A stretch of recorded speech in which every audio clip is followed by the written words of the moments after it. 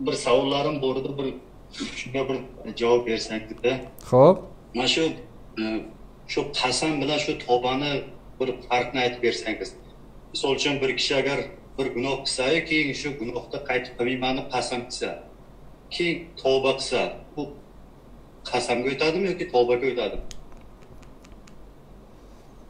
Ho'p qasam o'zi alohida mavzu bir ishni qilmayman deb qasam ichgan bo'lsa keyin qilib qo'ysa u qilib qo'yganligidan keyin qasami buziladi uni.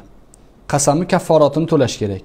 Kafforatini to'lab yana tavba qilsa bo'ldi tavba ham bo'ladi qasamga ham pul to'lagan bo'ladi ya'ni kafforatini to'lagan bo'ladi. Lekin yana gunoh qilmayman deb qasam ichsa yana tavba e, yana qasamini buzib qo'ysa yana tavba qiladi kafforatini to'laydi. Bu jang maydoniga o'xshaydi shayton bilan. Avvalo o'sha tavbasida davom etish kerak. Fazilat. Alloh ko'rsatmasin tavbaga ulgurmay dunyodan o'tib ketayotganlar ham ko'p.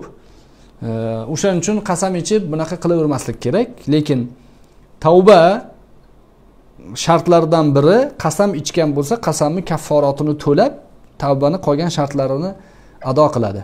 Birovni haqqiga tegishli e, gunoh qilgan bo'lsa haqlarini ado qiladi. Qazolarni e, joyiga keltiradi. Keyin bu gunohni qilmaslik uchun qalbida qasd qiladi. Yana qasam ichib qo'ysa yana qasamni kafforati davom etaveradi ya'ni qasamxo'r bo'ladi ya'ni. Tushundingizmi? O'zi endi o'sha tavba qilsa ham bo'laveradi o'sha e, o'sha qasamni uzmasdan.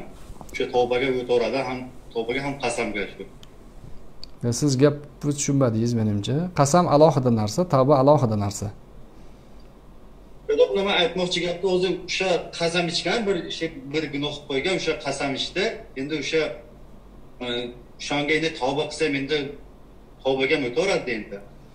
O'shani aytyapman. Qasamni kafforatini to'laydi tavba qiladi. Tavbani o'zini shartlari bor. Tavbani shartlari qilingan gunoh bandalarga aloqador ish bo'lsa uni to'laydi.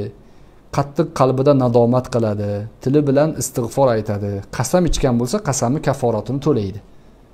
Shu. Qasam alohida mavzu u. Tushundingizmi? Shuni domla yana esimga tushirib qo'ydingiz. Mana shu mana shu bir nimadan ham internetdan ham savol beruvdi. Mana mana shu tavbani nimasi bir o'sha o'sha o'sha gunohdan to'xtaydi qattiq nadomat chekadi qayta o'sha gunohlar qilmaslikka qasd qiladi o'sha domla o'sha kunbay bo'lishi kerakmi yoki o'sha bir kunda ham amalga oshirsa bo'ladimi o'sha narsa? Savolingiz ajoyib. Doimiy bo'ladi u doimiy. Qalbida nadomat doimiy bo'ladi. U ishga qaytadan murojaat qilmaydi ya'ni gunoh ish qaytadan amal qilmaydi. Tilidagi istig'for doimiy o'lguncha bo'ladi. o'sha gunoh qilib qo'yganman tavbamni qabul qil parvardigoro qaytib bu ishga meni ro'baro qilmagin sanga tavba qildim deydi u doimiy bo'ladi tushundingizmi salomat bo'ling rahmat حينما رددت يا رب العباد وانتشت روحي